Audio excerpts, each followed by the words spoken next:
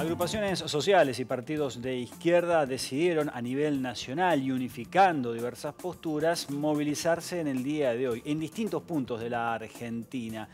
Aquí en Bahía Blanca la concentración se hizo en la Ruta 3 a metros en su intersección con Pedro Pico.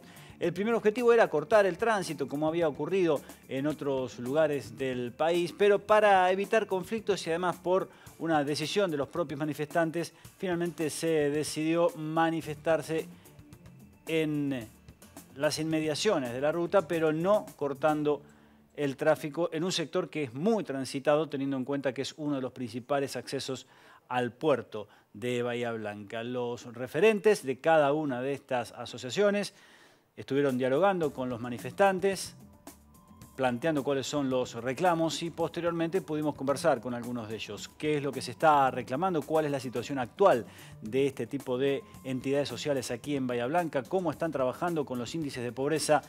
¿Y por qué la movilización de hoy? Esto nos decían. Una desidia eh, en todos los casos, qué sé yo, hay un montón de bajas de los progresar, eh, por un cruce mal de datos. Esa es la información que tenemos. Después es que nos despegaron del aumento del salario vital y móvil y es un derecho que teníamos, sí, pero porque no hay reconocimiento de, la economía popular, no hay reconocimiento que está en un merendero, en un comedor, en un taller textil, es un trabajo también, que nosotros hacemos una contraprestación contra, con esto de progresar. No llega nada igual, cono sin intermediario, porque eran compañeras también las que fuimos a desarrollo social.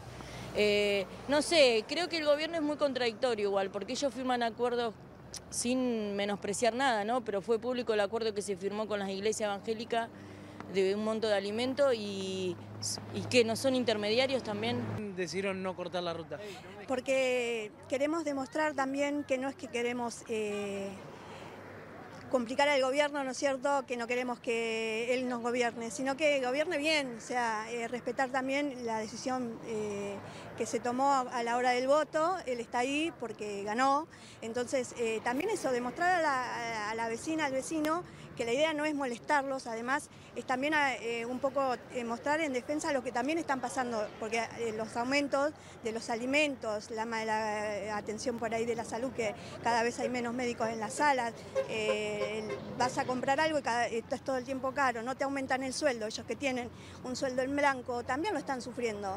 Eh, cada vez viene más gente a, los, a las ollas, a los merenderos, eso se va notando, incluso vas viendo en la calle misma mucha más gente revolviendo la basura, mucha más gente saliendo a cartonear, buscando una changa que tampoco aparece.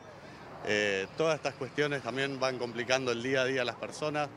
Ya era complicado llegar a fin de mes, incluso veníamos desde diciembre, eh, y bueno, con todas estas políticas sin duda va a ir golpeando cada vez más a los de abajo principalmente.